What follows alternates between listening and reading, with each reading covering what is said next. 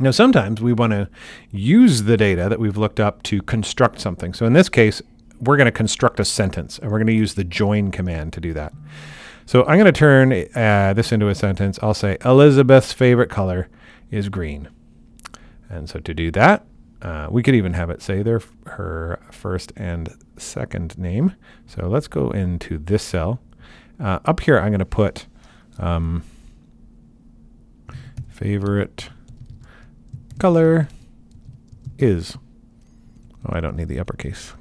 Color is. Let's push return. Okay, so let's learn how to the join function works. The join function joins up different things. So it could be different items in a cell, different parts of a sentence. It could be lots of different things that you might need to take that are in multiple cells and join them together.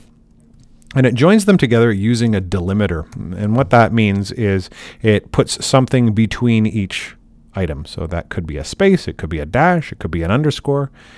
Um, in this case, because we're building a sentence, our delimiter will be a space. So I'll just push the open quote space, close quote. All right, next it wants the value of our array one. So basically what that's asking for is we just need to put every cell we want in here. So we want it to say Elizabeth Schmidt, and now we'll have an apostrophe S. So I'll say open quote, and then I'll do apostrophe S. And then we want it to say favorite color is, which is up here in cell H1. And then we want it to say green, which is in cell D5. I'll close my bracket and it should build that sentence. Elizabeth Schmidt's favorite color is green. Now let's copy it down. So I'm going to copy what's in this cell, Command C, and I'm going to go ahead and paste it here. But it doesn't quite work. It just says Clio Sims pink. So it's partially working, but it's not getting the favorite color is anymore. And let's look at why. Because I copied it and pasted it, it's incrementing. It was grabbing that sentence from H1. Now it's grabbing it from H2. We want it to grab it from H1. So what we do is we're going to delete that and go back and modify our original formula before we copy it.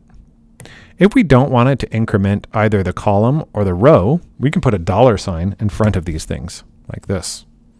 And now what that means is it always is going to take from column H, row 1. So let's copy it down now. Command C. I'll go ahead and paste. And now it's working. I can highlight the rest of them. Command V to put them in. And we can see Fiona Singer's favorite color is gray. Camilla Sothendoon's favorite color is pink. And we've got all the data joined up using the join function. So that's how you use VLOOKUP to get data. And that's how you use join to join up data.